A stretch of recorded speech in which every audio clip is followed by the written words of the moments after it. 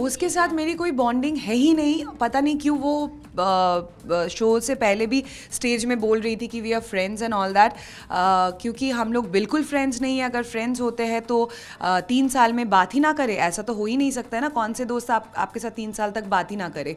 Of course she is not my friend I was absolutely indifferent towards her but जब मुझे पता चला कि वो uh, वो भी बिग बॉस में जा रही है वो भी सेम घर में मेरे साथ रहने वाली है। तो जो चीज़ें उसने पीछे पीठ पहले किया था in the past so I have forgiven that but I have not forgotten those things तो there is a difference between forgiving and not forgetting और उसके साथ कोई इक्वेशन है ही नहीं।